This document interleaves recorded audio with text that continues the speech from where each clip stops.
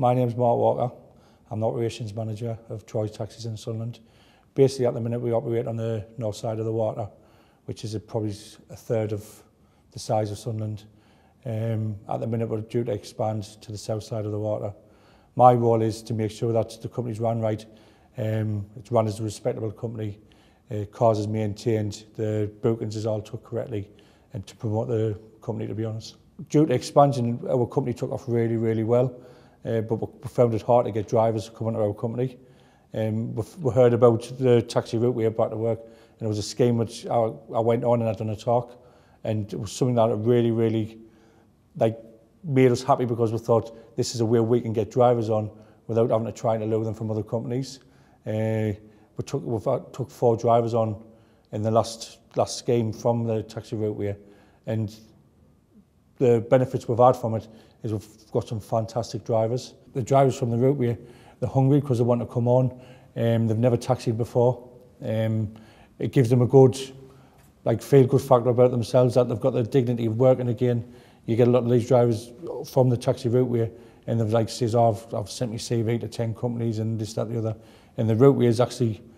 they're taking them on.